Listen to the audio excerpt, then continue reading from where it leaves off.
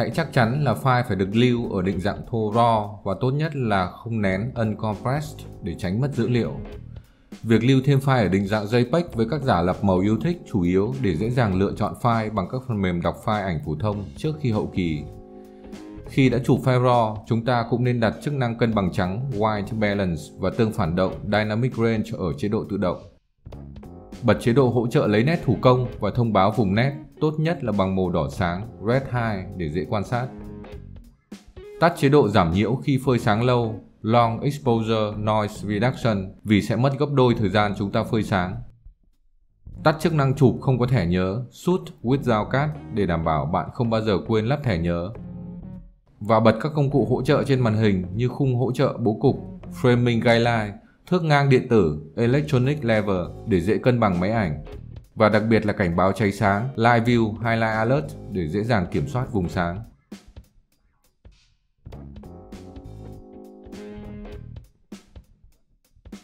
Phải đi một quãng đường rất xa, phải dậy rất sớm, phải chịu đói khát nên chúng ta dứt điểm là không hề muốn file ảnh lưu lại những khoảnh khắc hiếm có lại bị kém chất lượng. Để chụp được file ảnh có chất lượng tốt nhất, đầu tiên ISO cần luôn được đặt ở ISO cơ sở cho chụp ảnh phơi sáng. Đối với máy ảnh Fujifilm X-T3, ISO cơ sở là 160. Trong tình huống chụp cầm tay nên khống chế ISO ở mức tối đa là 800 để tránh bị nhiễu. Ảnh phong cảnh luôn cần một trường ảnh sâu, nhưng để đảm bảo chất lượng ảnh nét tốt thì luôn khống chế khẩu độ trong phạm vi quanh điểm ngọt. Thông thường nằm ở khoảng giữa thang đo khẩu độ của ống kính, từ f5.6, f8 tới f11. Trừ những tình huống cần tia nắng mặt trời dài có thể cho phép siết khẩu lên tối đa là f16. Nói chung không nên mở khẩu f2.8 hoặc f4 để lấy đủ sáng làm cho trường ảnh bị nông vì chúng ta luôn có chân máy cũng như đặc biệt không bao giờ siết khẩu hơn f16 làm cho ảnh sẽ bị nhiễu xạ và sót vì chúng ta đã có filter ND. Về tốc độ chụp, do phong cảnh là những hình ảnh tương đối tĩnh nên tốc độ sẽ là hàng thứ yếu, trừ những tình huống có chủ đích như phơi mặt nước, thác nước hoặc đèn xe chạy trên đường.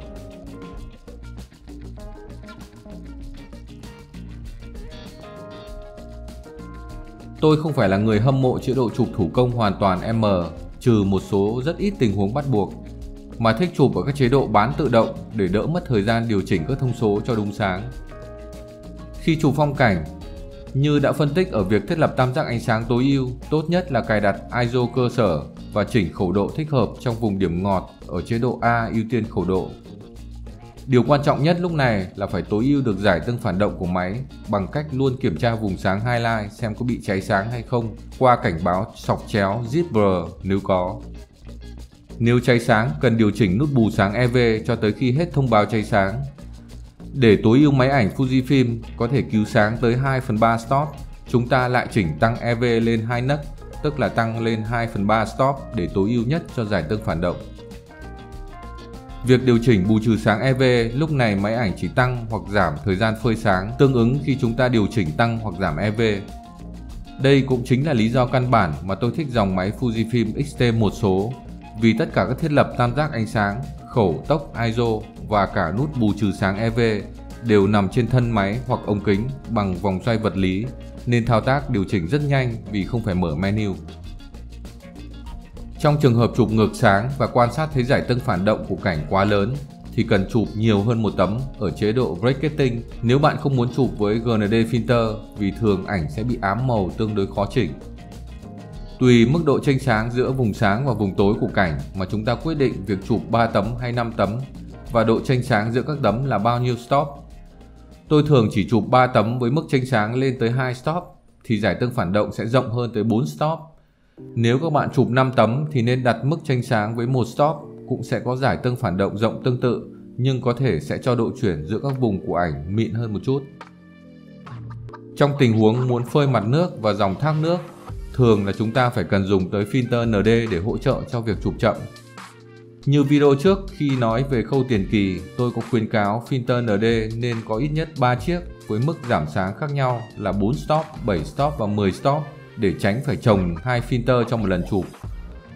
Nói chung hệ thống ống kính máy ảnh là hệ thống thấu kính chất lượng rất cao nên bần cùng mới phải lắp thêm bất cứ thứ kính gì ở phía trước nó, kể cả những filter có chất lượng rất cao. Trên lý thuyết là vẫn giảm chất lượng của hình ảnh một phần, nên chúng ta rất hạn chế lắp hơn một filter, trừ trường hợp cần các filter có chức năng khác nhau như filter ND kết hợp với filter CPL hoặc filter ND kết hợp với filter GND. Kinh nghiệm chụp thác nước cho thấy chúng ta phải rất cẩn thận khi đo sáng vì khu vực dễ cháy sáng nhất chính là dòng nước ở thác luôn có màu sáng nhất trong cảnh. Nên tốt nhất là đo sáng vào đúng phần highlight ở thác nước này. Tùy khẩu vị của mỗi nhiếp ảnh gia khác nhau, nhưng tôi thích phơi thác với thời gian khoảng 5 giây. Mặc dù trên lý thuyết từ một giây là dòng nước đã bắt đầu mịn, nhưng mặt sông hồ thì cần thời gian lâu hơn thế, dăm lần mới mịn, tùy theo mức gió và sự tĩnh lặng thực tế của mặt nước. Trong tình huống muốn phơi ánh đèn xe chạy trên đường, thông thường trên phố có nhiều xe cộ di chuyển thì chỉ cần phơi khoảng 10 giây trở lên là đã có dòng sông ánh sáng.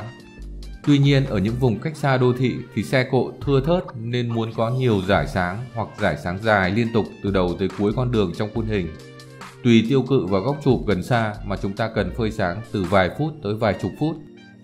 Ví dụ như cung đèo Tà Nung ở Đà Lạt tôi đã phải phơi sáng tới 900 giây tức là 15 phút các cung đường ở đèo Thẩm Mã Hà Giang hoặc đèo Ô Quy Hồ nối Lào Cai với Lai Châu cũng tương tự như vậy. Trong những tình huống phơi sáng trên 30 giây, chúng ta phải chụp ở chế độ T theo thời gian định trước hoặc chế độ B theo thời gian chúng ta giữ nút chụp, tùy theo cách chụp của mỗi người. Có một cách chụp khác khi không có filter ND để có thể phơi sáng được đủ lâu, có thể được sử dụng trong tình huống trên một cung đường rất dài và chỉ có 1 đến 2 xe di chuyển thì chúng ta vẫn chụp được ở chế độ thông thường dưới 30 giây là khi chụp xong tấm thứ nhất chúng ta lại ấn chụp tiếp theo cho đến khi các xe đi hết cung đường. Khi hậu kỳ chúng ta sẽ chồng những tấm ảnh đó với nhau với sự thay đổi của ánh sáng và cuối cùng là nối thủ công phần ánh sáng đèn xe bị đứt quãng giữa các lần chụp là xong.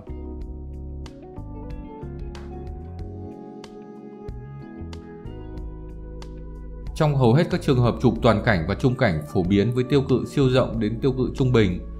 Việc lấy nét vào khu vực 1 phần 3 chiều sâu không gian ở phía trước với khẩu độ từ f5.6 đến f11 là đảm bảo tốt cho trường ảnh sâu. Trong trường hợp có tiền cảnh rất gần vị trí chụp, đặc biệt là chụp với tiêu cự tele trở lên thì chúng ta có hai phương án giải quyết. Phương án thứ nhất là sử dụng cách lấy nét Hyperfocal Distance.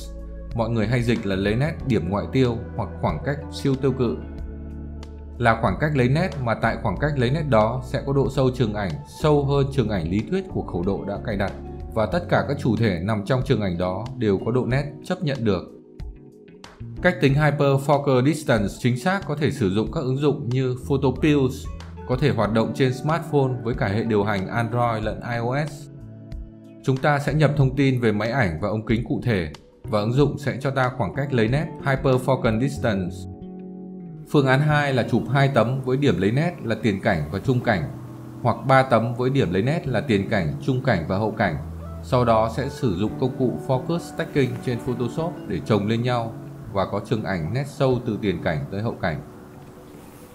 Để đảm bảo lấy nét được chính xác và kiểm soát tốt hơn độ sâu trường ảnh, chúng ta nên chuyển sang chế độ lấy nét thủ công và kiểm tra trường ảnh bằng chế độ hỗ trợ hiển thị vùng nét Focus Pick Highlight.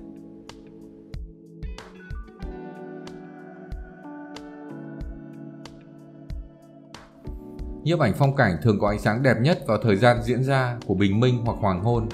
và điểm kịch tính nhất chỉ diễn ra trong khoảng thời gian rất ngắn. Những thời khắc đó có thể xảy ra trước hoặc sau khi mặt trời mọc, và tương tự có thể xảy ra trước khi hoặc sau khi mặt trời lặn ở đường chân trời.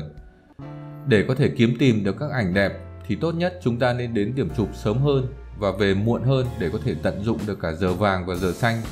và phần thưởng luôn ưu tiên cho những người kiên trì và biết nắm bắt cơ hội.